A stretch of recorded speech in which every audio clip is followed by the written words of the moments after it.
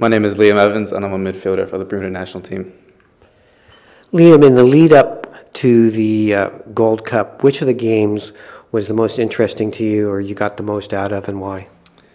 Uh, for me, I think I have to say it was the St. Martin game because that's where I scored my first uh, full men's team international goal for Bermuda. And what was that like for you? It was it was a crazy feeling, especially being in front of front of the home crowd. I, it was surreal. Which of the teams that Bermuda's facing are you going to look most forward to playing? I think for me, it, will be the Nicaragua game just because of all the support that we expect to have there, and, and it's the last game of the competition. So for us, it could be crucial as to whether we move on or not. What do you think's been the key development for you to as a footballer?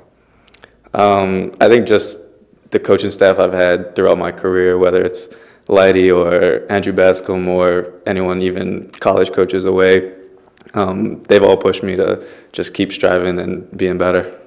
And who would you like to give a shout out to? Um, just my family, my parents, my sister, and some of my friends that are coming up for the games in New Jersey.